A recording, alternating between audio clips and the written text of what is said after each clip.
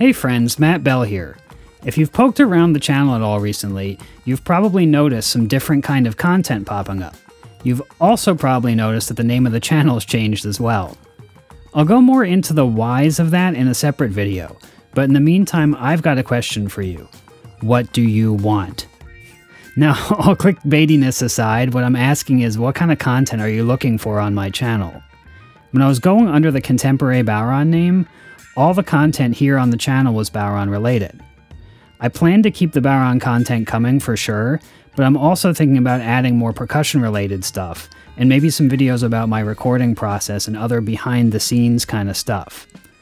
I'd like you all to get to know me better on a personal level as well.